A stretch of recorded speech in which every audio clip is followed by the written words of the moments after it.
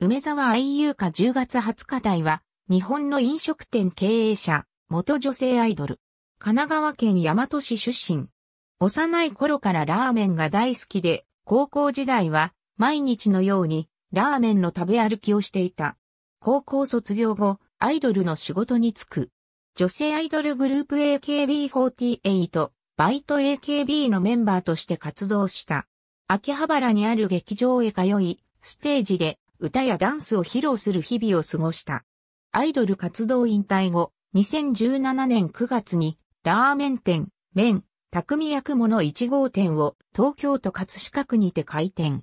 現在は麺、匠薬物2店舗と、サラヨシの計3店舗を経営している。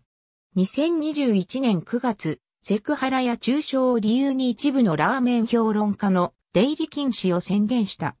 10月13日、自身が殺害予告を受けていることを公表。警察に被害届を提出し、しばらく療養することを明らかにした。ラーメンの修行経験はなく、すべて独学である。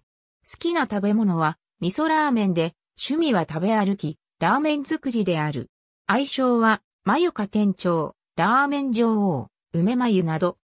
2021年秋に新店、絹の里を開店予定だったが、新店の売りである麺の材料の業者に対して、麺、匠薬もが反社会的勢力と付き合いがあるとメッセージが送られた。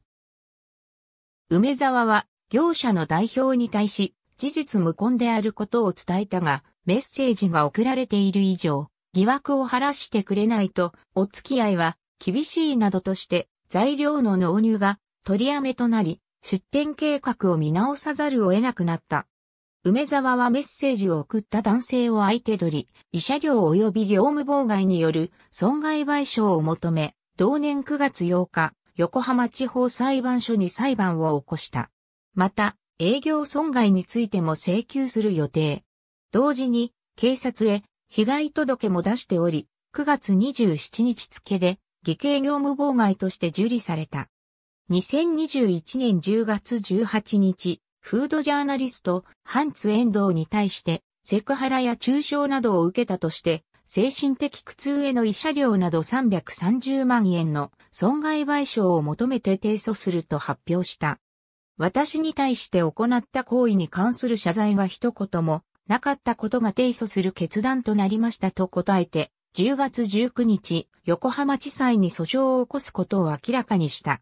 2021年10月17日、文春オンラインは、麺、匠薬もが使用している食材の産地偽装や経営のつささを報じた。梅沢はメニューの表記と違う食材を使用していたのは事実です。大変申し訳ありませんと謝罪し、10月15日、消費者庁に報告しましたと述べている。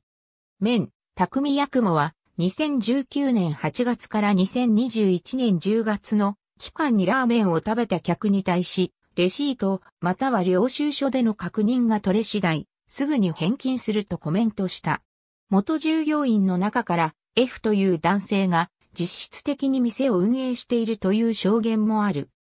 この点について、梅沢は F さんももともとは経営者なのでそう見えることはあったかもしれない。最終的な決定は全部私がしてきた。F さんも最終的な判断は私に尋ねてくる。業務の分担としては、味作りが私、業者との窓口係が F さんですと述べている。F との関係について、梅沢は、F さんは私が名古屋で地下アイドルとして活動していた時にお世話になった方です。F さんには逮捕歴があり、私が作るお店で働いてもらうことで、社会復帰の手助けができればと考えていた。2019年から1年半ほど F さんと交際していたが、仕事に支障が出ると思い現在は関係を解消していると述べている。ありがとうございます。